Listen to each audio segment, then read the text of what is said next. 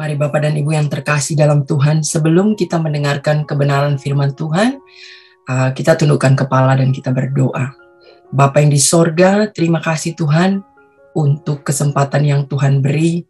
Kami mau mendengarkan kebenaran firman Tuhan, biar kiranya roh kudus mengurapi semua yang mendengar, agar pada saat kami mendengarkan kebenaran firman Tuhan, kami boleh mengerti karena pada saat kami mengerti, kami akan melakukan di dalam kehidupan kami. Terima kasih Tuhan, terima kasih ya Bapa. Di dalam nama Tuhan Yesus Kristus. Haleluya. Amin. Shalom Bapak dan Ibu yang terkasih, hari ini ke kebenaran firman Tuhan yang akan kita pelajari adalah 1 Korintus 13 ayat yang pertama sampai yang ke-8. Nah, yang pertama kita akan buka ayat yang pertama sampai yang ketiga dulu di mana di sini dikatakan eh, ini adalah merupakan surat Rasul Paulus kepada jemaat di Korintus. Ini mengenai kasih karena eh, pentingnya hari-hari ini eh, kita melihat dunia yang sudah sangat-sangat um, kacau, boleh dibilang dan bagaimana cara kita menyikapi kehidupan kita sehari-hari. Di sini pentingnya Rasul Paulus dalam suratnya itu mengatakan bahwa kita sebagai orang Kristen, orang atau believer, kita harus mempunyai yang namanya kasih dan begitu luar biasa dan sangat perlu dan sangat penting untuk kita mempunyai kasih. Mari saudara kita buka um, 1 Korintus 13 ayat yang pertama sampai yang ketiga dulu. Di ayat yang pertama dikatakan seperti ini. Sekalipun aku dapat, aku dalam hal ini Paulus, dapat berkata-kata dengan semua bahasa manusia dan bahasa malaikat, tetapi jika aku tidak mempunyai kasih, aku sama dengan gong yang berkumandang dan canang yang gemerincing.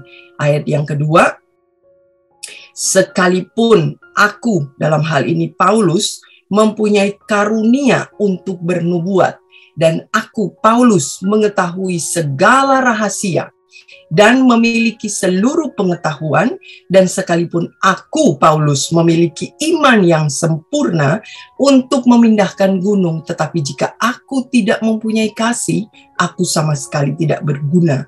Ayat yang ketiga kemudian. Dan sekalipun aku membagi-bagikan segala sesuatu yang ada padaku, bahkan menyerahkan tubuhku untuk dibakar, tetapi jika aku tidak mempunyai kasih sedikit pun tidak ada faedahnya bagiku. Saudara yang sekasih dalam Tuhan, ayat ini sungguh luar biasa. Yang saya catat ada delapan poin uh, Rasul Paulus mengatakan bahwa jikalau Paulus dalam hal ini, saya ingin Bapak dan Ibu Saudara meletakkan posisi Paulus itu sebagai posisinya kita. Bahwa dikatakan bahwa saudara dan saya hari ini, uh, kalaupun kita ini bisa um, berkata-kata dengan semua bahasa manusia, berarti pinter dalam semua pengetahuan. Bahkan dikatakan bahasa malaikat, luar biasa. Tetapi jika saudara dan saya tidak punya kasih, itu tidak ada gunanya Kemudian di ayat yang kedua dikatakan seperti ini juga, kalau saudara dan saya punya karunia untuk bernubuat dan lebih luar biasa lagi mengetahui segala rahasia dan memiliki seluruh pengetahuan. Mungkin kita punya pengetahuan yang luar biasa mengenai Alkitab.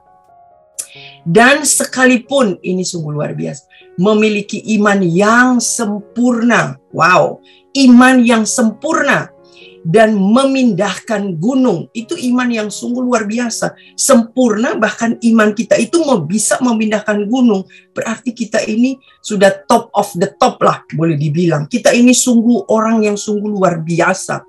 Dan bahkan dikatakan ini, tapi aku sekali lagi Paulus mengatakan, kalau tidak punya kasih, sama sekali tidak berguna, saudara. Kemudian ayat yang ketiga bahkan dikatakan, bahkan sekalipun aku membagi-bagikan segala sesuatu yang ada padaku, berarti kita tipe orang yang generous, yang murah hati, tetapi kemudian dikatakan bahkan menyerahkan tubuhku untuk dibakar. Wow, pengorbanan yang luar biasa. Tapi kalau tidak punya kasih, sedikit pun tidak ada faedahnya buat saudara dan saya. Jadi dari ayat pertama sampai yang ketiga dikatakan bahwa begitu pentingnya perlu dan penting kasih dalam hidup saudara dan saya. Nah, kasih yang bagaimana yang dimaksud oleh Paulus dalam hal ini? Ternyata kasih di sini adalah kasih yang mengasihi orang lain.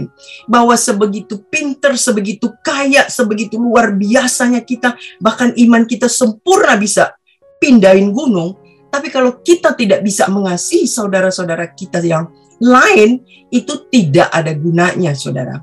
Nah, jadi kita ini seperti gong yang berkumandang. Kita pinter pengetahuan bisa semua, bahkan bahasa malaikat itu tidak ada gunanya. Jadi ada delapan poin. Kita kepintaran kita begitu luar biasanya kita tidak ada gunanya kalau kita tidak punya kasih. Sungguh luar biasa. Jadi kalau begitu pentingnya kasih ini, sebenarnya apa sih kasih itu? Mari kita lihat di dalam uh, ayat yang selanjutnya, ayat yang keempat. Kemudian dikatakan seperti ini apa sebenarnya yang dimaksud oleh Paulus mengenai kasih yang dimaksud sehingga dia mengatakan bahwa betapa begitu penting. Jadi ternyata kasih itu adalah sabar. Kasih itu adalah kasih itu murah hati. Ia tidak cemburu, ia tidak memegahkan diri dan tidak sombong. Sabar seperti apa yang dimaksud? Mungkin dalam hal ini kita ada yang menyakiti hati kita. Sifat sabar itu kita harus punya juga Kasih itu sabar, sabar menunggu daripada kita membenci seseorang, sabar menunggu saudara kita atau orang yang kita kasihi yang menyakiti hati kita, sabar pada saat waktu Tuhan dia itu akan berubah. Jadi sabar, Saudara. Itu lebih penting daripada kita itu pinter. Kemudian kasih itu apalagi selain sabar? Murah hati, jadi di dalam kekristenan, kalau kita punya sesuatu, alangkah indahnya kalau kita bisa memberi. Jangan sampai akhirnya kita itu self-center, semua hanya untuk kita tanpa kita punya uh, rasa untuk memberi kepada yang lain.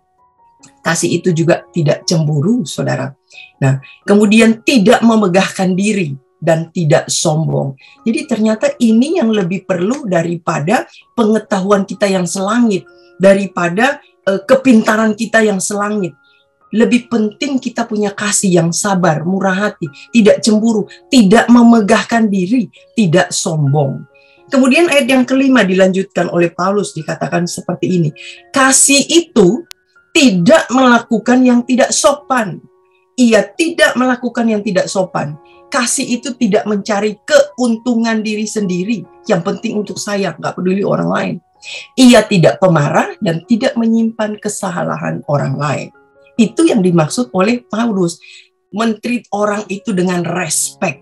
Jadi jangan tidak sopan. Perkataan yang lemah lembut, perkataan yang sopan. Seperti di gereja best diajarkan mengenai mega project karakter Kristus. Salah satunya adalah harus ramah, lemah lembut, dan lain-lain sebagainya.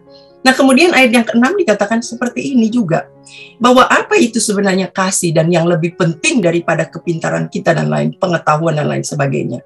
Kasih itu tidak bersuka cita karena ketidakadilan, tetapi karena kebenaran. Kita harus bersuka cita bukan karena ketidakadilan. Kadang-kadang saudara dan saya, kita itu tidak senang jika orang itu lebih hebat daripada kita. Kita tidak tidak uh, kita senang pada saat orang lain itu menderita. Paulus mengingatkan saat ini sekali lagi, kasih itu tidak seperti itu. Kasih itu bersuka cita karena kebenaran, bukan karena ketidakadilan, saudara. Jadi luar biasa mengenai kasih ini. Kemudian ayat yang ketujuh dilanjutkan dengan mengenai kasih. Apa kasih itu? Kasih itu ia atau kasih menutupi segala sesuatu, percaya segala sesuatu, mengharapkan segala sesuatu, sabar menanggung segala sesuatu, saudara. Nah, kasih itu kuat sehingga bisa bertahan menghadapi segala sesuatu.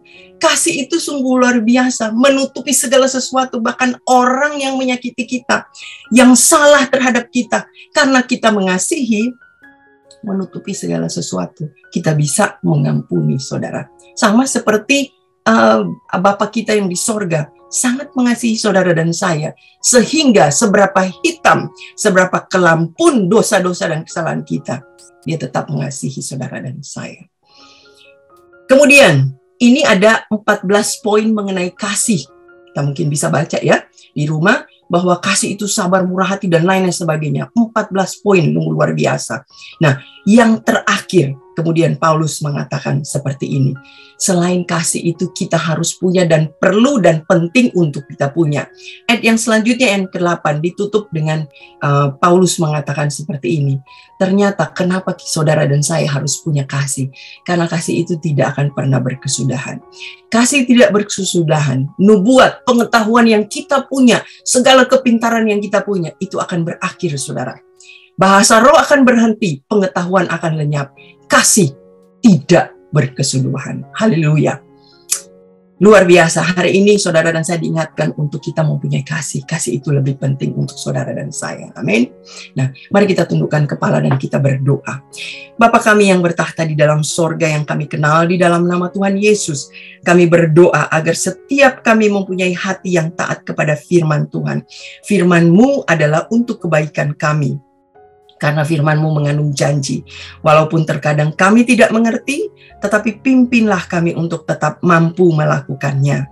Mari saudara, kita dekapkan kedua tangan kita di dada.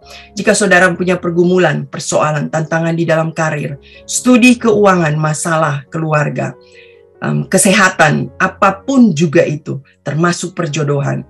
Biarlah berkat Tuhan turun ke atasmu dan kekuatan kasih turun atasmu.